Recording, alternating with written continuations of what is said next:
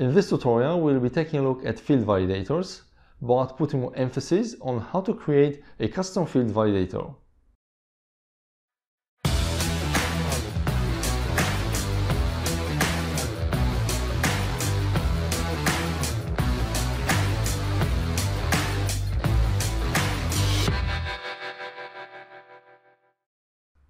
Welcome to this tutorial on how to create a custom field validator. During this tutorial, we'll create a validation rule using an existing Sitecore max length validator, and we'll also create a custom validator that will validate a two-letter ISO country code. So I'm going to log into Sitecore and show you how it's done.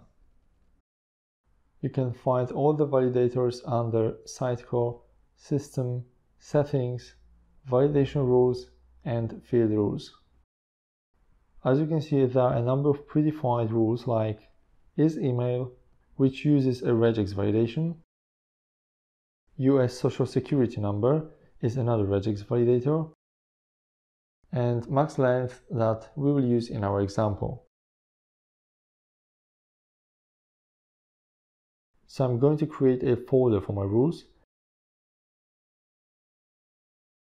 And I will duplicate the max length validation rule.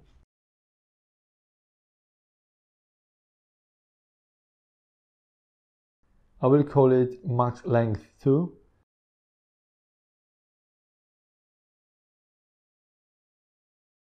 and I will change the parameter to 2. Now I will assign this rule to one of the fields. We need to select the template and then the field that we want to assign this validator to. We need to scroll down to the validation rules section and here we have subsections, quick action bar, the arrow will be displayed in this little column on the left hand side. Then we have validation button. It will be applied when you click on the validate button.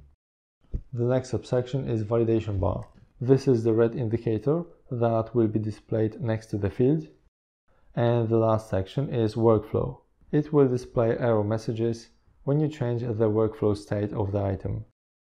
Remember to select validation rules if you want error messages to be displayed in this column. Once we've assigned our custom validation to this field, we can test it by going through the item and if we change the value, it will indicate that this is an invalid value. And as I mentioned, the error will be displayed next to the field when we validate the item and in the column on the left hand side. Now I'm going to create a custom validator that will check if the value in the field is a valid country code. I'm using this as an example because instead of adding a custom validation for the country ISO text field, you could create a drop-down list with a list of countries with corresponding ISO codes.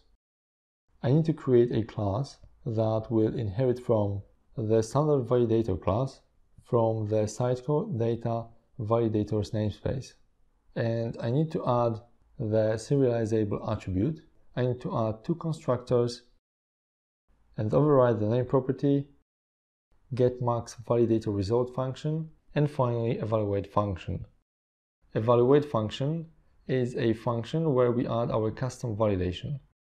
In this example, it will return validator result valid if control validation value equals GB and it will return validation result error if it doesn't. Now we need to copy the namespace and the class name and paste it into the type field. Now if we test it, it returns valid for GB and invalid for everything else. During this tutorial, we've duplicated and customized the max length validator and we also created a custom validator that could be used in many different ways. As I mentioned during this tutorial, for things like a list of countries and country codes, you could use a drop-down list to prevent content editors from typing incorrect names. But sometimes, if the validation is the only option, you can use a custom validator.